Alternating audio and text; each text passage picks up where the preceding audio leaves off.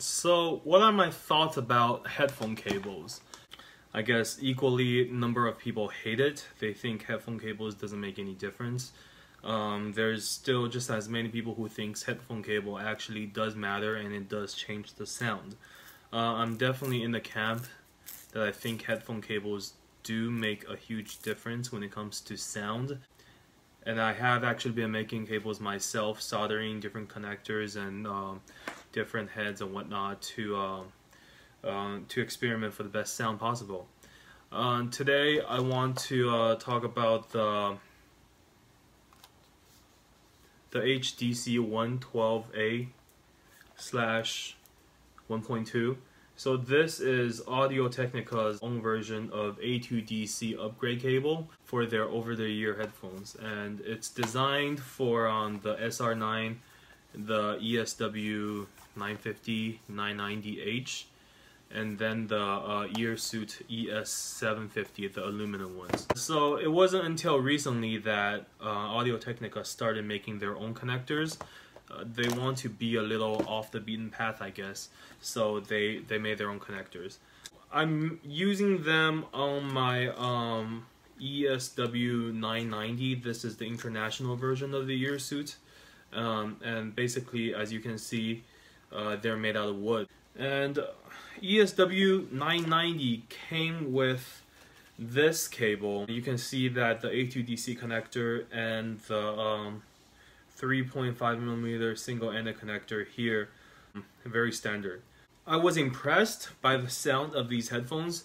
Well, uh, also I did switch out the ear pads as you can see, these are the larger ear pads that I had custom made. Usually what you'll uh, get is the small pads that is like so. These are the ESW9s. I have modified them to take MMCX connectors and also another one of my cables that I have connected. So these are the bigger ones. And anyway, uh, not to go on too much of a tangent. So sound-wise, I was impressed by these Obviously, the ESW990 and the ESW series all uses different type of wood for for special for their special resonant properties uh, like instruments. And uh, with the 990, this uh, this is when I got into the game. So this is the latest version that I bought, and then I have picked up the ESW9 afterwards to hear what the original sound like. Anyway, with the 990, it's a lot more balanced. Um, the low, mids, highs are much more linear than the top heavy ESW9. So with this cable here, it works, the stock cable. Now, it, it does have a mic, which is very useful sometimes, but these are very difficult to drive anyway. Uh, they're about 60 ohms, and while not the most difficult, but I wouldn't expect them to have any respectable sound unless you drive it off of a dedicated player um, or a uh, or a dedicated amp. So anyway, let me talk about HDC 112A. So basically what Audio Technica did is now that they have an entire line of A2DC headphones, they have made specific cables with balanced connectors for uh, their A2DC uh, headphones. Now, Audio Technica, they have the uh, the in-ear monitors and the over-the-ear headphone, and they do use different, uh, even though they're A2DC, they use different connectors because these are actually recessed and they are designed to go into the plug here. You see the red part just disappears. Now with the in-ear monitor, that's not the case. If you take a look at these, this is made out of oxygen-free copper, uh, not necessarily the uh, OOC that everybody uh, wants to use for upgrade cable. But what really comes down is how it sounds like. That's, uh, that's why it's important. So how these are constructed, there are basically paracord-like sheath over each one of the cables.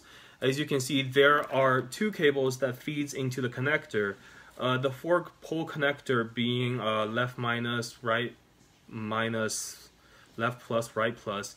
the four poles connects to two different wires already, so they're separated at the base. And then it's braided in a uh, spiral fashion all the way to the splitter. Now at the splitter, basically the cable goes in, it locks, and it continues out.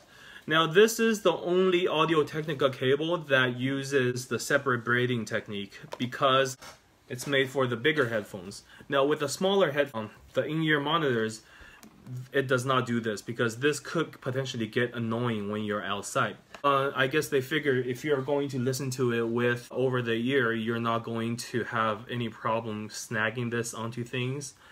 And um, with the in-ear monitor, basically it's one solid cable throughout until the splitter. Uh, if you look here, the connectors, they are actually very well made.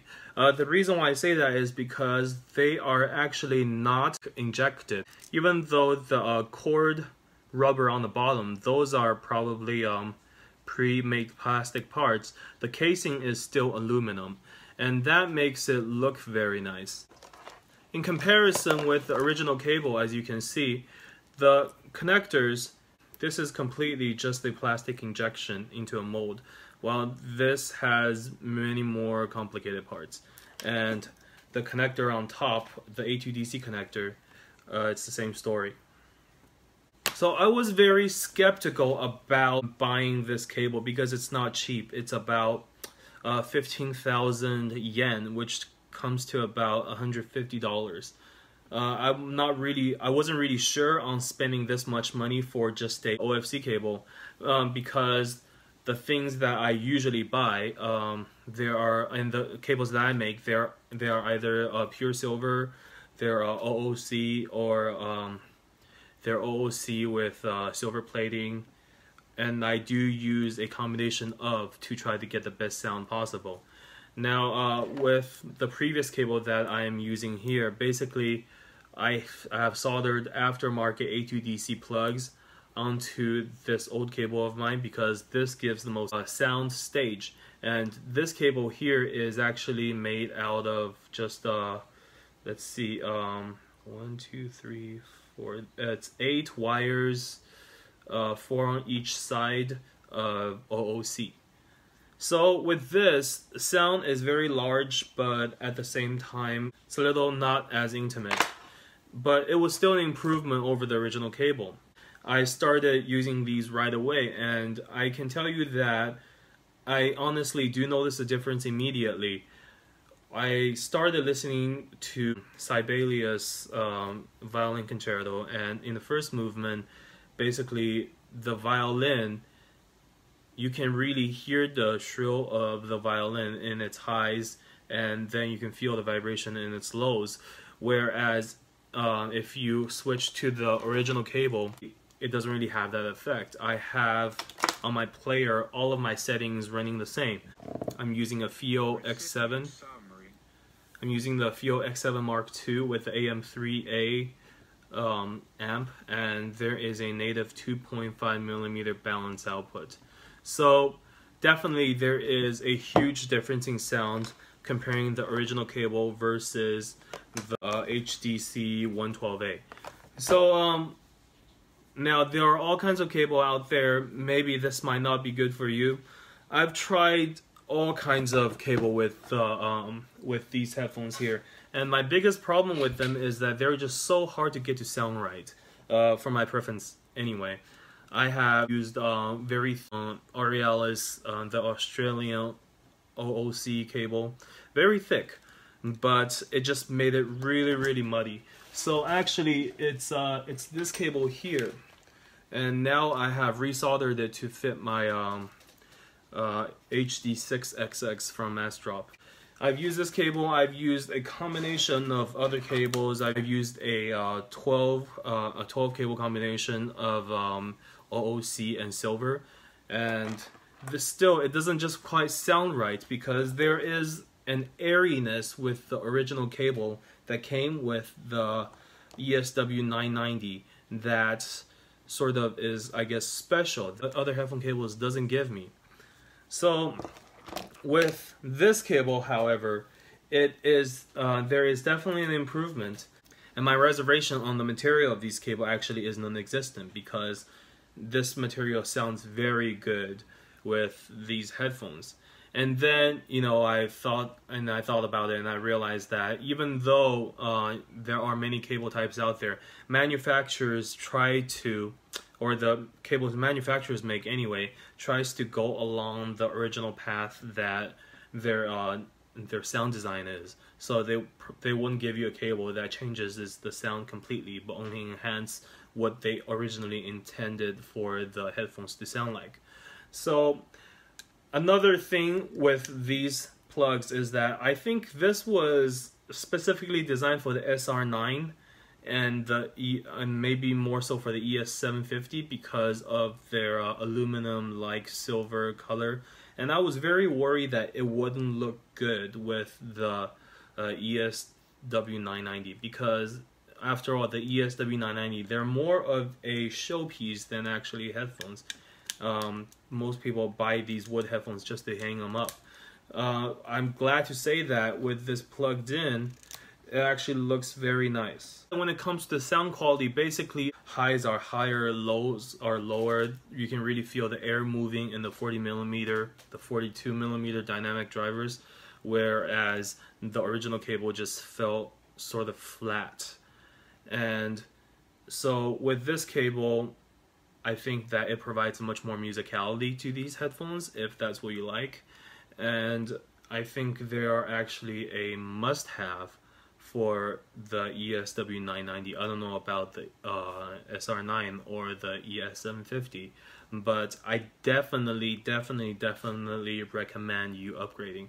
And of course, if you're if you haven't bought into the balanced connection kind of thing, then, then I'm glad to also tell you that I have used this with my desktop amp using a converter basically that converts from 2.5 uh, balanced into a 6 point something 6.3 um, single-ended plug.